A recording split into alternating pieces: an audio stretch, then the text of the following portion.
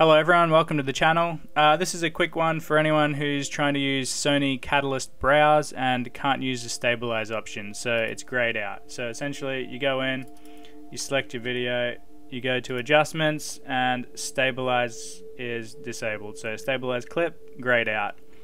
So the, this is a quick and easy fix. So essentially you just need to change some settings in your camera. So if we go back, uh, you'll see this has the metadata for the stabilization. This one doesn't. Uh, they're both recorded at the same quality. Uh, the only difference is you need to change the setting in the camera. So basically, uh, turn on your camera, go into the menu. Once you're in the menu, change to the movie 3 section and go to SteadyShot I believe it's on the third page. Then go and select either off or active. If you try to use standard, you don't get any metadata.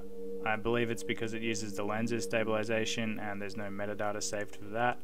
Uh, it's kind of stupid, but that's how it is. Um, then you can copy your file across to your computer or just use leave it on your camera and load it into Catalyst Browse.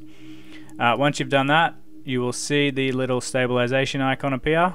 Um, just a thing too, if you have Catalyst open and then you copy your file across and expect it to appear here, uh, the file will appear but it won't show the stabilization option. So you need to restart Catalyst, open it again, and then you'll see the stabilization data appear. Um, once you've got the stabilization data, just go to adjustments and you've got stabilized clip not grayed out. So that's all there is to it. Anyway, that wraps up this one. I hope you found that useful. Thanks for watching, and don't forget to subscribe. Uh, also, if you like fish tanks, I got another channel below. Check it out. See you later.